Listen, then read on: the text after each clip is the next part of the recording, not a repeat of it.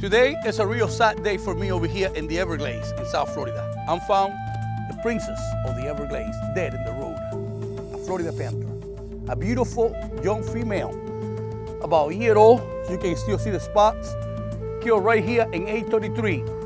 This road is actually the reason why Florida panther come to be in danger. This is actually the most valuable wildlife that we have in the whole Florida state and the one of the most endangered species animals in the whole entire planet. To learn more about the Florida panther, we're going to visit today Florida Wildlife Commissioner Alligator Ron Bergeron, who has dedicated most of his life to the protection of the Florida panther.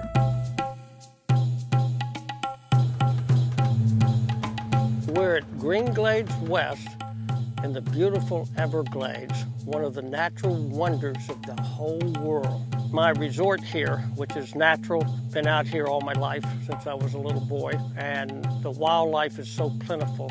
We, we left camp, what, Five minutes ago. five minutes ago? And we got this monster right behind And, us. and here we got a bear right here. So what we're going to do today is uh, we're going to ride around through our natural ranch. And this ranch borders the Big Cypress Preserve. And then we border the Seminole Indians' west boundary is our east boundary for six miles. The most beautiful thing about the Big Cypress Preserve, and especially this property, is the whole headwaters of the Kissimmee Billy, which is a very famous strand of cypress trees. And we even have 500 year old cypress trees. Those trees were there when the Spaniards landed in the 1500s.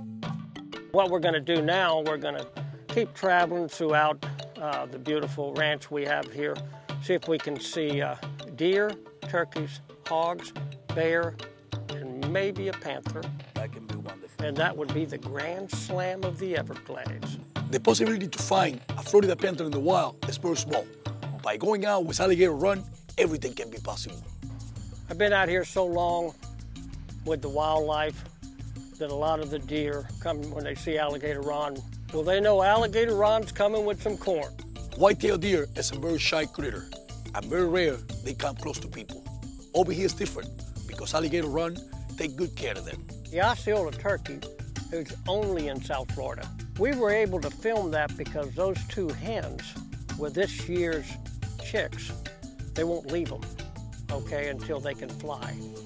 So look, Oh wow. there, there's a, a bear and a hog together. Together, that is Yeah. crazy. Wow. That is not something that we see every day. I mean, Those hogs got loose 500 years ago when the Spaniards landed on the west coast of Florida and they interfaced with the Calusa Indians. Got in a big battle, and the Calusas were warriors. The cows, the horses, and the hogs got loose. They entered into the Everglades and acclimated to the environment and multiplied by the millions. Got a big bear coming in on us, and I think the way that bear's acting, we need to be a little bit careful. Okay, big boy, you need to go that way. And most people, they really, they think everything out here is going to come and get them. Yeah, I wouldn't advise the average person to, to be standing as close as we are. But I've been in this environment all my life since I was three years old and pretty well know what's dangerous and what isn't. You know, this particular area, I've seen a lot of panthers. Matter of fact, I have a, a trail camera in this area that's got all kind of pictures of panthers. So our our chance of seeing a panther in this area is very good.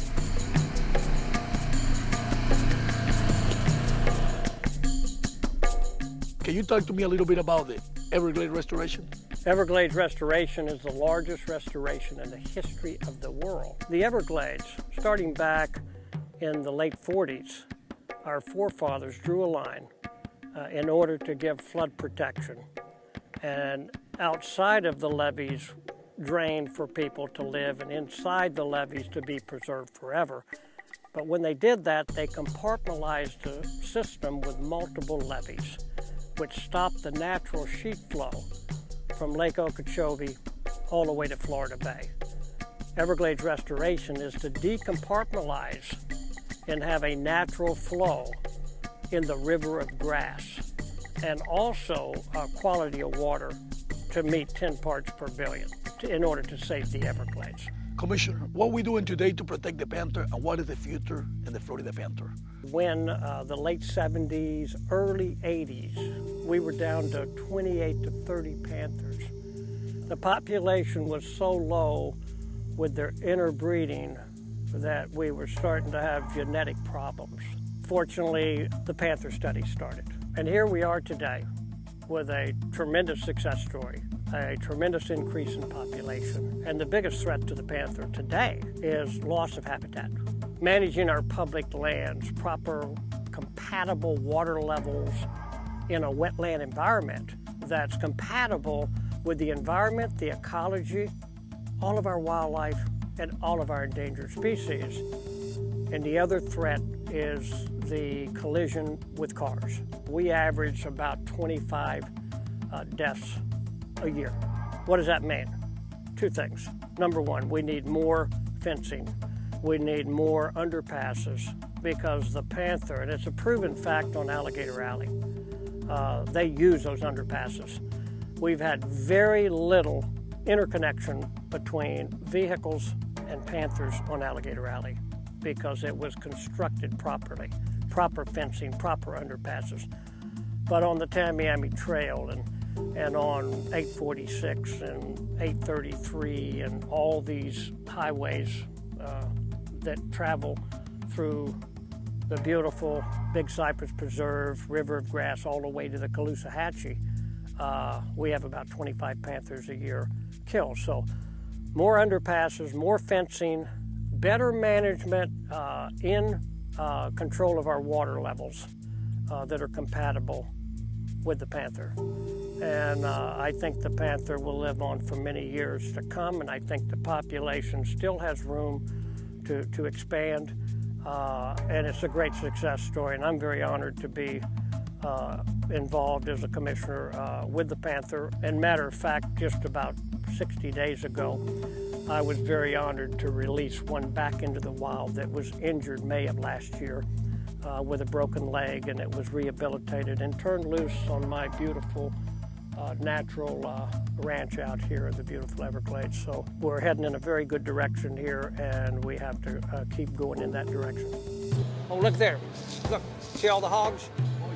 Yeah, see them running. They're running off to the left, right over there. See right through there? Oh, look, there, there's a panther.